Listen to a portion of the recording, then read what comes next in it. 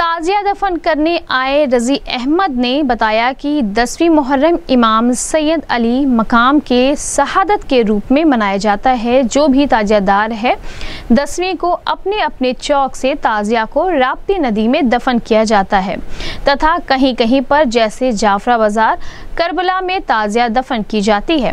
उन्होंने कहा कि इस्लाम को कायम करने के लिए इमाम अली मकाम ने अपनी शहादत दी थी। उसी तरह शहादत के रूप में दुनिया भर के मुसलमान पहली मुहर्रम से लेकर दसवीं मुहर्रम तक उनकी याद में गमे हुसैन मनाते हैं और जो मुसलमान जिस हैसियत में है, वह अपनी हैसियत के हिसाब से सिरनी शरबत खिचड़ी, बिरयानी इत्यादि चीज़ प्रसाद के रूप में वितरित करते हैं।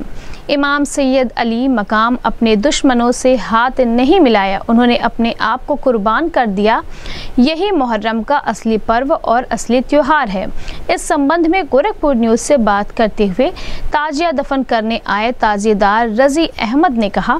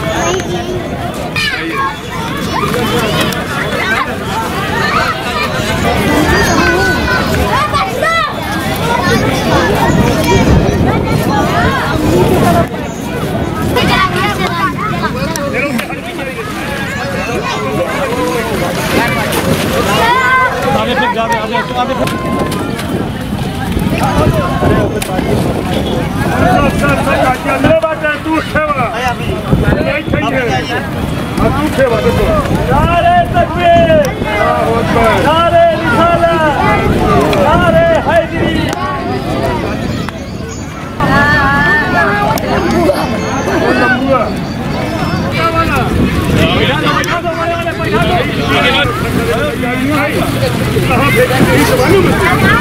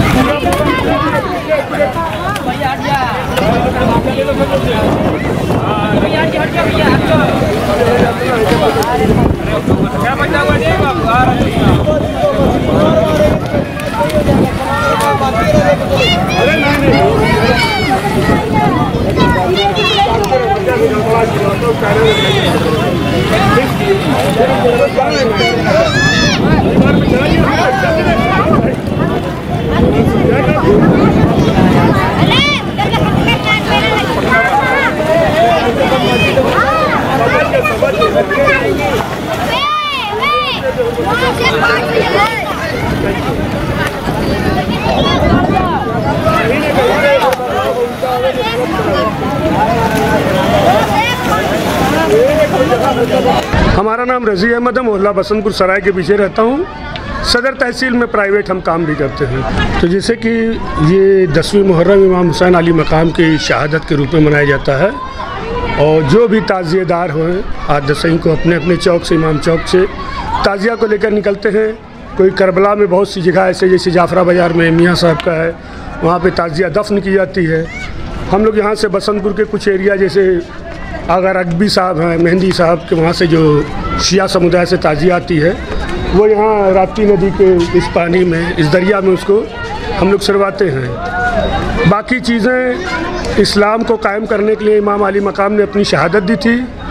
उसी शहादत के रूप में दुनिया भर के, हिंदुस्तान में नहीं, हिंदुस्तान के बाहर भी सारे मुसलमान पहली मुहर्रम से लेकर दसवीं मुहर्रम तक गम हुसैन मनाते हैं। उनकी याद में जो आदमी जिस हैसियत से है शिरनी है, शरबत है, खिचड़ा है, बिरयानी है, जो भी खाने पीने की चीज़ें हैं, अपने उसी हिसाब से, दस्तूर के हिसाब से वो प्रसाद के रूप में वितरित करते रहते जो अकीदतमंद अब आप ये भीड़ नज़ारा देख रहे हैं, यहाँ पे अभी कम से कम काफ़ी तादाद में लोग यहाँ पे पानी है, खिचड़ा है, बिस्किट है, कोल्ड ड्रिंक है, जैसे जिसकी औकात है, लोग आकर के यहाँ पे प्रसाद का वितरण करते हैं। यही है आली मकाम कि उन्होंने दुश्मनों से, अपने बैस से मतलब उन्होंने हाथ नहीं मिलाया उन्होंने अपने आप को शहादत दे दी अपनी शहादत दे दी अपने आप को कुर्बान कर दिया लेकिन दुश्मन से उन्होंने हाथ नहीं मिलाया। सच का साथ दिया। सच का साथ दिया उन्होंने।